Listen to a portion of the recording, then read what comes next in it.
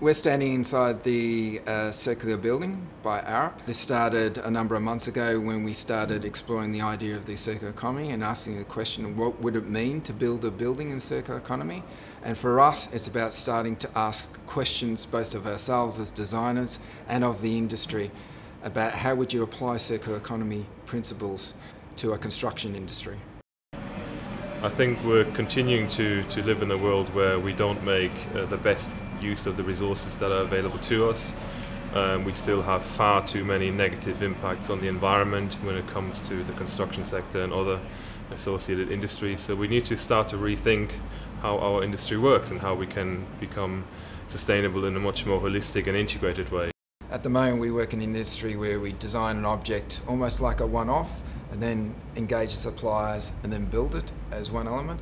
Whereas from day one, we need to think about how will we deconstruct it, how will we layer things up so they can easily be demountable, um, and how can we inherently design a, a end of life and flexibility and adaptability so it can be applied to the circular economy. So we started by, by looking at this house as a series of components that actually could be clamped together and then disassembled quite easily. So then we can send them back to the manufacturers and put them back into the manufacturing stream. So starting with the, the steel frame, um, that's from offcuts from another site. It's, it's bolted together and so we can easily re-bolt it apart. It's also a rigid steel frame so we can actually uh, provide uh, adaptability and flexibility with inside the form and that's another element to the circular economy. On the steel frame we put these prefabricated panels. What's unique about these panels is actually they're made from uh, agricultural byproduct. It's a, after you do cropping on site, it's all the waste that's left behind. So basically, it's a wheat waste that's then compressed together with uh, in a non-toxic way. Um, and then these boards were uh, computer-controlled cut, put together, put together on a truck and brought to site. The challenge to us and the challenge to the industry is, is to create materials that are non-toxic, that produce uh, non-hazardous uh, chemicals. So when they can be remanufactured at the end of their life, it's, it's a lot easier, and we don't have any chemical uh, byproducts as well. And so uh, our aim was, and question to the, to the supply, the industry and the suppliers, was to try and source materials that could either been upcycled from other project, projects in another non-toxic way, or re, can be recycled back into the manufacturing stream in a non-toxic way. The blue walls are made out of Autex. They're made out of 80% PET bottles, so they're upcycled and they're actually just pinned together, so they're prefabricated, easy to take apart. We can actually change them over the lifespan of a building, and also we can send them back to the manufacturer and get them remanufactured into new boards as well. This prototype have been uh, engineered in order to reduce the amount of energy used uh, following the passive house concept.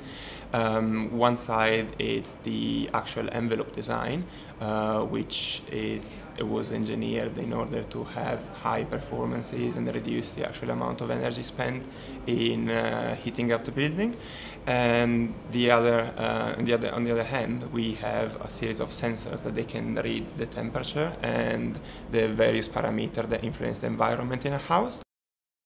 For this prototype, we have designed a ventilation system um, which, uh, which allows to exchange uh, external fresh air into the house to provide adequate uh, indoor air quality.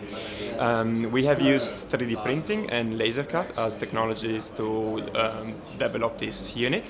All the internal components they are 3D printed with 90% uh, recycled PET, which comes from old bottles. We only have uh, DC power, direct current power. Originally we designed the building to have as little energy as possible. So all the um, uh, system which use energy, uh, for instance lighting or uh, um, electronics. Uh, there are so that we have the tablets, we have the TVs. Uh, they're all uh, um, designed so that they can take either 5 volts, 12 volts, 24 volts, 19 volts for the TV, and 48 volts for um, some of the lighting as well. The um, the DC uh, network that we have, though, is uh, um, is uh, mainly electronics, and so it made sense to power it straight from from the battery system. the battery system that we've selected is a battery system that uses a salt water solution. uh, uh, from a company called Aquion, and uh, um, it's.